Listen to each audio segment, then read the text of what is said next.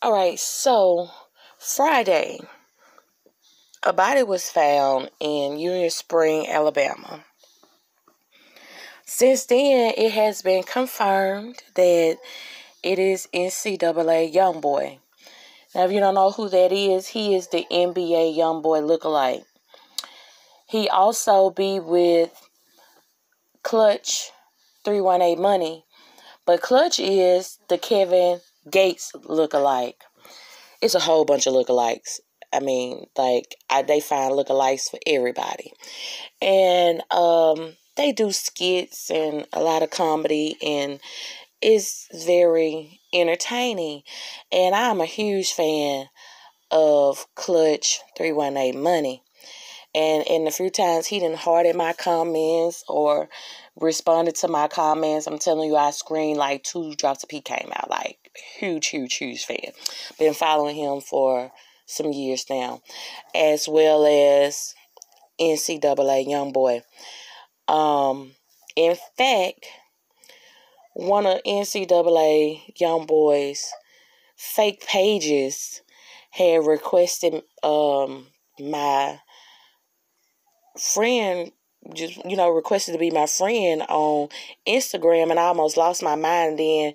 Had to call my friend girl back like girl that ain't even him. This a fake ass page you know like so you know it was four to five minutes before I did investigating to see was it really him. I was so excited that you know he followed me on Instagram but it, it wasn't him. It was a fake. But anyway this that I'm still lost for words because this really hurts my feelings. You know what I'm saying? Like this really really hurts my feelings and it is, has taken me the longest to try to make this video but i just really want to just send my condolences out to his family to clutch and everyone that you know has collabed with him and done skits with him and everything because I know that that young man's energy is going to be missed.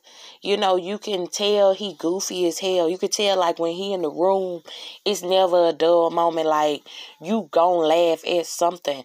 Even if he was just to walk in the room and just bust out and go to laughing, everybody gonna laugh. And then like, what we laughing at?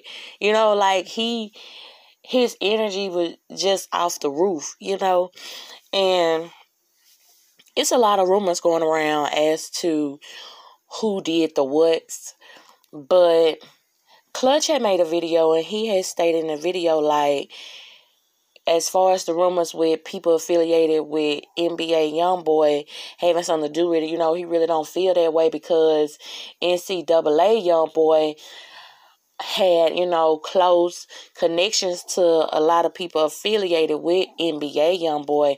Clutch said, you know, NCAA, or he call him Lil Peanut, even would talk to Sherhonda on the phone, you know.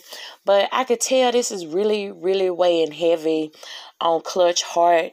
And I can tell like Clutch is kind of blaming himself and kind of, you know, like got a lot of guilt and remorse for the simple fact that he said that um, you know, days before this happened that like I say he referred to him as Little Peanut had called him you know a couple days in a row trying to get back down to Louisiana.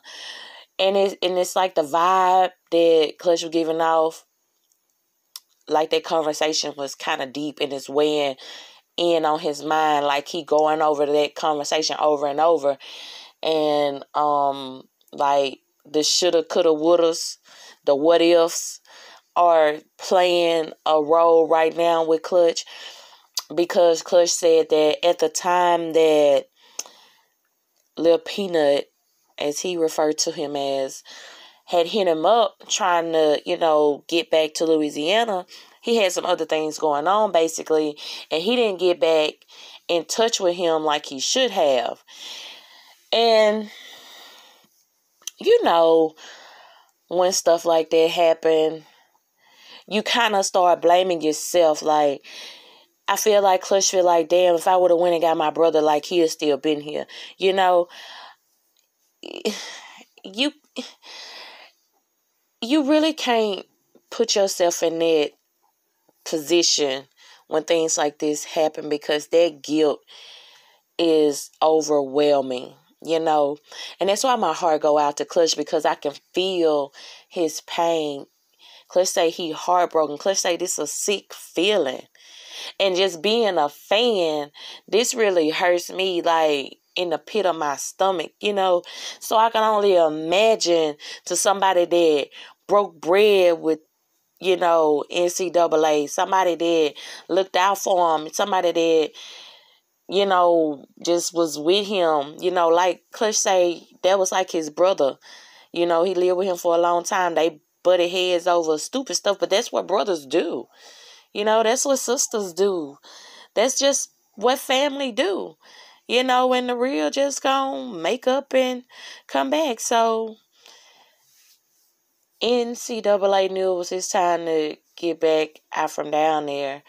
And, you know, he probably felt like something was about to pop off and he was trying to get away from down there. You know, we don't ever know what influencers or um, you know, vloggers and just people, entertainers on social media you don't ever know what they are going through when that camera goes off.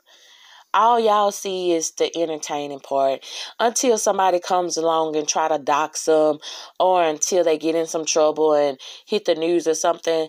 You really don't know what people really are going through when those cameras are off, you know?